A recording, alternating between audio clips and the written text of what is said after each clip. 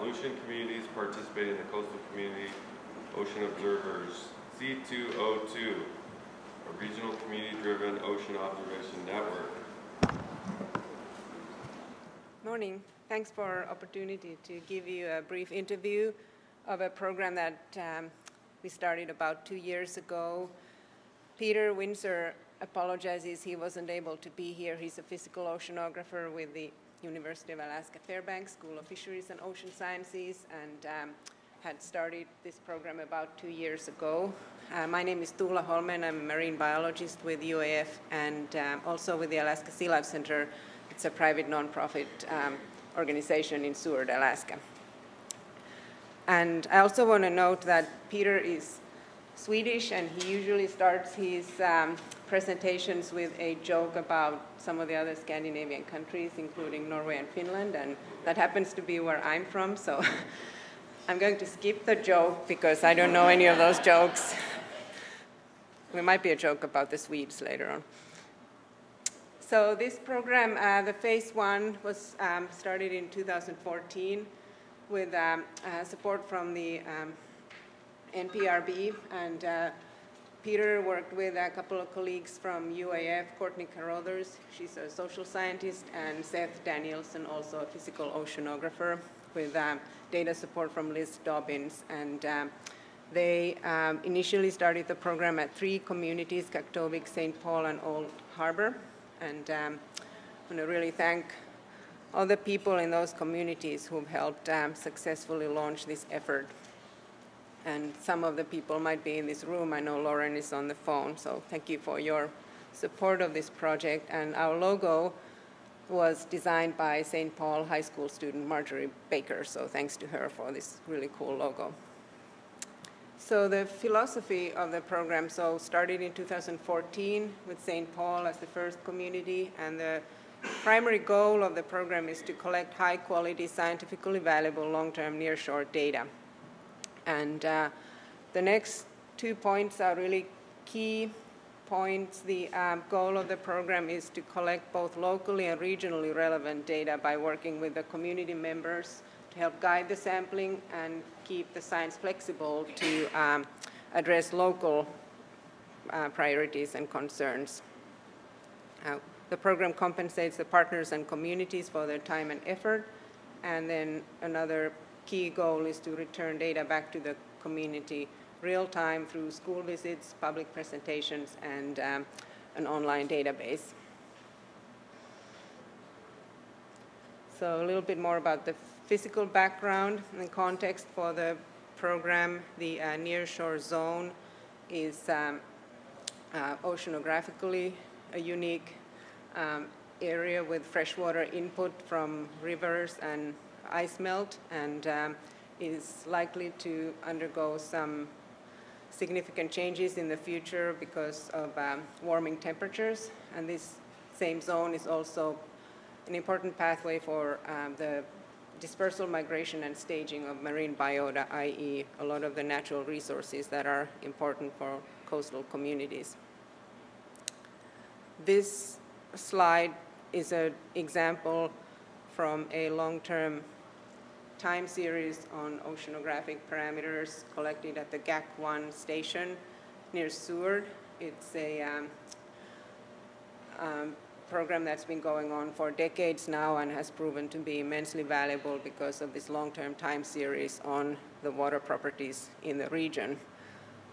And these types of time series are going to be um, obviously incredibly valuable for understanding the large-scale changes in the marine system. They also can be fairly expensive to obtain, so our premise with the um, C2O2 program is that working closely with the local communities, we would be able to establish a um, similar time series at multiple locations and over long periods of time with um, collaboration with the communities. And St. Paul the first C2O2 site has now very successfully collected this type of data for two years. Here are the sampling locations.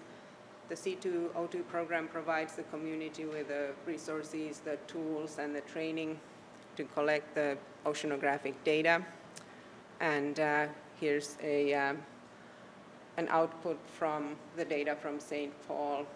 And this is um, from last winter, and there's already over 90 data points of observations for temperature, salinity, and density across the um, and stations near St. Paul. So very valuable data. Now we're moving into phase two and um, hoping to um, expand the geographic scope of the program by adding two more communities, Cold Bay at the tip of the Alaska Peninsula and uh, Kotzebue. And another expansion that we're um, working on is uh, incorporating a uh, biological component into the monitoring program, an observation program. The nearshore food web is very rich and again provides natural resources for the coastal communities. And uh, we are in the next phase planning two different elements to add on to the observation um, network. Uh, the new um, CTD um, CTD um, equipment now includes a, a fluorometer to uh, measure chlorophyll A fluorescence as a proxy for phytoplankton biomass. So in other words, we'll be able to get a measure of primary productivity at the at the measuring stations, and then also are looking at including uh, some bivalve sites into our um, observation network, bivalves being sentinel uh, filter feeders and important in the nearshore um, transition zone between the ocean environment and the terrestrial environment, and because of their filter feeding habits, also are sensitive to changes in water conditions. So we're hoping to establish sites where we can use bivalves as um, measures of water quality and environmental conditions in the near, so, near shore. And the first site with these integrated physical biological observations is um, another unique site in the Aleutians region called Bay, which sits on a um, narrow isthmus between the nor northern Gulf of Alaska and the Bering Sea and offers us access to two oceans at the same um, community. And we just uh, this summer implemented our first instruments and started taking measurements in Cold Bay.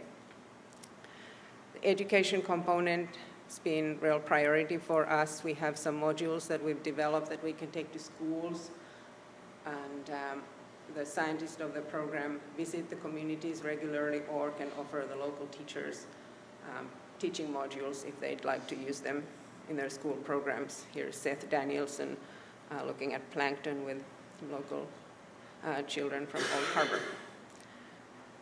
And again, high priority for the program is to return the data to community.